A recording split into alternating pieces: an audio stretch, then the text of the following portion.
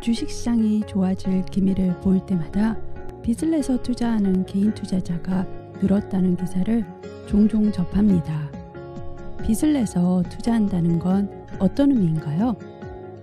대박을 노리는 개인 투자자가 증권사에서 돈을 빌려 주식을 사는 신용거래 행위를 의미합니다. 예를 들어 설명해 보겠습니다. 투자금 100만 원이 있습니다. 이 돈으로 5만 원짜리 주식을 20주 샀습니다. 주식 가격이 5천 원 올라서 10만 원의 수익을 냈습니다. 그러면 전체 투자 수익률은 10만 원 나누기 100만 원에서 10%입니다. 이제 갖고 있는 투자금 100만 원에 증권회사에서 100만 원을 빌려 200만 원을 만듭니다.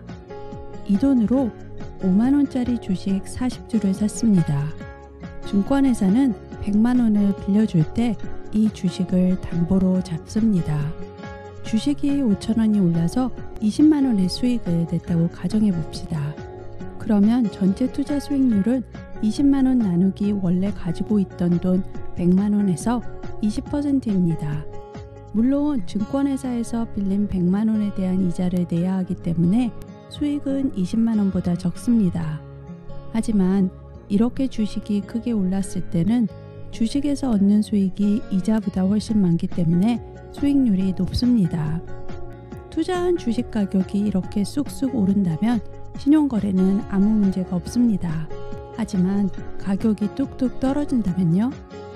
이제 주가가 5만원에서 4만 5천원으로 5천원 떨어진다면 빚을 내서 투자한 경우 손실은 20만원이 되고 수익률은 마이너스 20%가 넘습니다.